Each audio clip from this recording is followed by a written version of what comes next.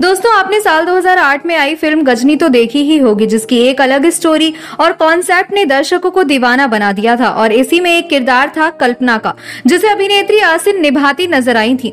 और अपनी एक्टिंग के साथ साथ अपनी डायलॉग डिलीवरी से भी उन्होंने दर्शकों को दीवाना बना दिया था, जिसके लिए दर्शक आज भी इन्हें याद करते हैं, जिन्होंने कई फ़िल्मों में काम करके खूब दौलत शौहरत हासिल कर ली। पर आज ये बॉलीवुड से गायब है। और इसलिए आज के हमारी इस वीडियो में हम आपको अभिनेत्री असिन की दौलत, शौहरत और करियर खत्म होने तक के सफ़र के बारे में बताने वाले हैं। अगर जानना चाहते हैं आप भी तो जुड़े रहिए हमारे साथ वीडियो के अंत तक। पर उससे पहले आप हमारी वीडियो को लाइक करना ना भूलें।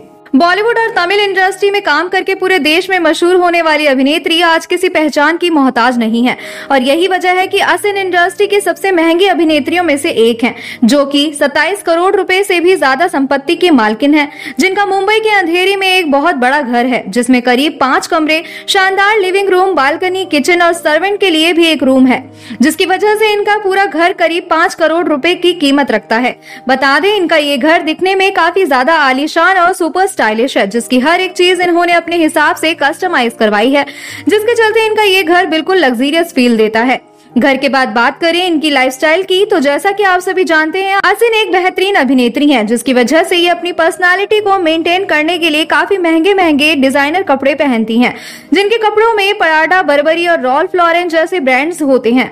तो वहीं अपने कपड़ों के साथ ही ये अपनी हील्स और शूज़ पर भी चालीस से पचास हज़ार रूपए खर्च कर देती है, जिनके इसी कलेक्शन में भी आपको क्रिश्चियन लुबिटिन स्टीव मेडन जैसे ब्रांड्स देखने को मिल जाएँगे। तो वहीं इसके अलावा ये बालेनियागा बैग डियोर की एक्सेसरीज और गुच्ची का दस हज़ार का परफ्यूम भी कैरी करती हैं।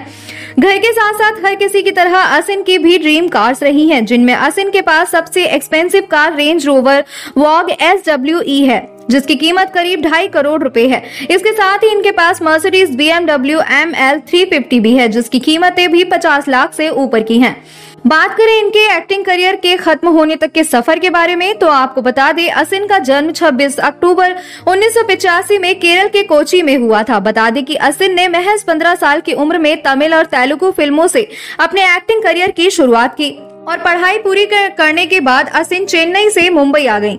और असिन ने साल 2008 में आई फ़िल्म गजनी में कल्पना का किरदार निभाकर बॉलीवुड में फ़र्स्ट डेब्यू किया जिसके बाद साल 2011 में उन्होंने सलमान खान के साथ रेड्डी साल 2012 में अक्षय के साथ खिलाड़ी सात सौ छियासी और, और हाउसफुल टू जैसी फ़िल्में की जिसके बाद उन्होंने बोल बच्चन और ऑल इज़ वेल जैसी फ़िल्में भी की लेकिन धीरे धीरे ये फ़िल्मों से दूर हो गई साल दो हज़ार सोलह के बाद असिन का फ़िल्मों में दिखना ही बंद हो गया।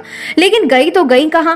दरअसल असिन ने साल 2016 में मशहूर मोबाइल कंपनी माइक्रोमैक्स के मालिक राहुल शर्मा से शादी कर ली थी और फिल्मी दुनिया को हमेशा के लिए टाटा बाय बाय कह दिया था। वो दिल्ली में ही बस गई और साल 2017 में उन्होंने एक बेटी को जन्म दिया। इस तरह से इनका एक्टिंग करियर पूरी तरह से खत्म हो गया। तो दोस्तों, आप असिन की इस लग्जरी लाइफ और करियर खत्म होने तक के सफ़र के बारे में जानकर क्या कहना चाहेंगे? आप हमें कमेंट करके ज़रूर बताएँ। साथ ही बॉलीवुड से जुड़ी ऐसी तमाम खबरों को जानने के लिए लिए हमारे चैनल को सब्सक्राइब करना ना भूलें।